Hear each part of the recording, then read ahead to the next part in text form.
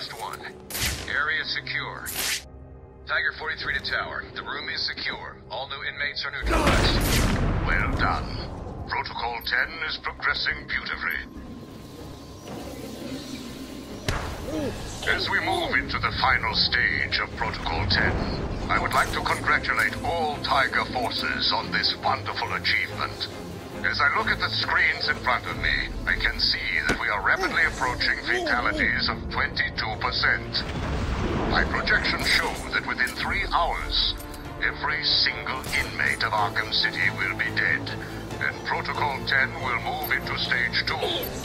By the end of the month, new camps in Keystone and Metropolis will open, each modeled after Arkham City. You should all be proud of your part in this. We are the solution this world needs.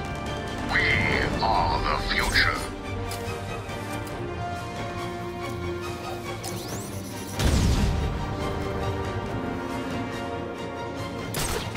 He has taken one of you imbeciles out